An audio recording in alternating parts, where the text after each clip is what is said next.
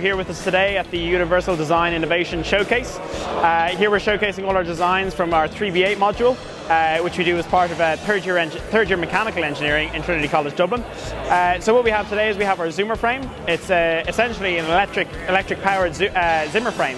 And uh, what it uses is it uses ultrasonic sensors to gauge the distance of how far away the user is from the Zimmer frame. If the user is too far away, the Zimmer frame stops completely. Um, and then if the user is too close, the Zimmer frame actually speeds up a little bit. And then we have a nice medium ground uh, for when the user is about the right optimum distance away. And we also have a reverse gear as well, uh, should you want to reverse in, in your Zimmer frame. And then of course we have an emergency stop uh, should things get out of hand. This is the auto seat.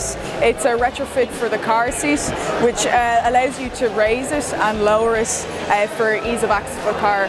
There's also a rotary actuation in it which allows you to turn in and out of the car more easily.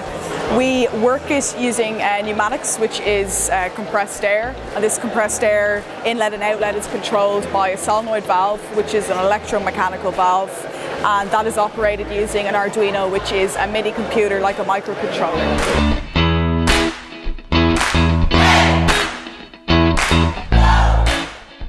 So We've uh, developed the Zupper frame. It's a, a walking aid with a fully adjustable height that goes up and down.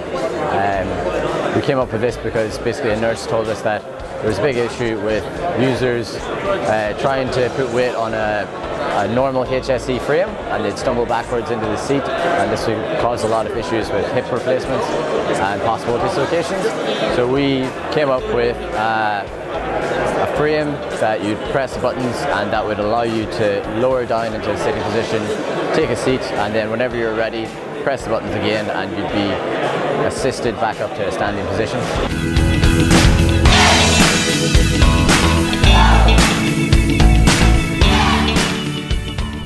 Product is a, an assistive walking boot.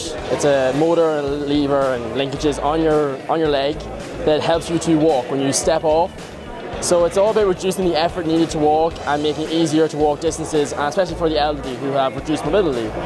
This is kind of based off research we did that found that as people start to get weaker and they can't walk as far, they stop walking, which just exacerbates the problem. So we're trying to combat that. So we saw what other people have done with this kind of walking boot, especially for like the military, for people who march and go on uh, combat missions. And uh, it was really effective, but it was not discreet. It wasn't designed to be, it was functional, not form. So we tried to take that and make it a bit more user friendly, a bit more discreet so that people wouldn't be embarrassed to wear it. So the result of that is the Turbo Walker.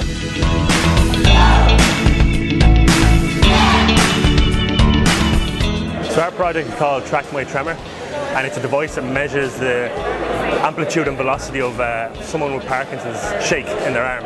So the problem at the moment is that in hospitals, the only way of tracking someone's tremor is visually, right? That's a big problem for doctors because uh, Parkinson's tremor is never solid. It's never the same motion the whole time. It's periodic. So the tremor you have now is, could be different from the tremor you have in five minutes. So our device aims at eliminating that.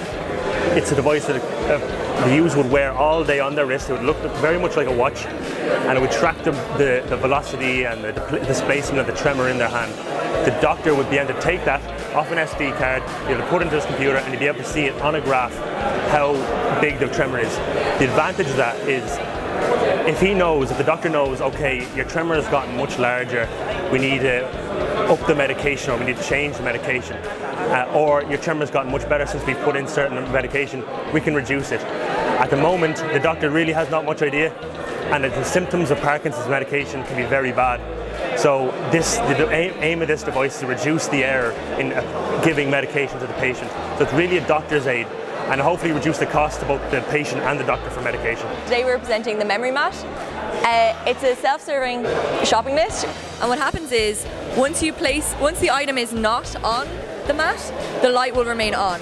But once you do place the item on, after a time of five seconds, the LED should turn off and that allows users to know that there is, the product is there and uh, is the place it should be. So then once you do remove it, uh, there's also a time delay of five seconds, but that can be set to any time delay uh, to allow the users to know that their product isn't there or isn't placed um, in the fridge. So then once the, uh, once the weight is less than 10% of the original weight, the LED will remain on. So there's nothing on the mat at the moment. The LED will turn on in a time delay of five seconds. And then once it's below 10% of the weight, the light will actually remain on to allow the user to know that they're in need of going to the shop to purchase some of that product, which now happens to be milk. Our design concept was basically to take everything that was good about different types of Zimmer frames and apply them to the one Zimmer frame. So you had things like a stair climber, but the, the Zimmer frame would only do that, or you had uh, motorized Zimmer frames, but it would only do that. So what we did was we took the stair climber wheels, we made them interchangeable. We took indoor wheels and we took outdoor wheels.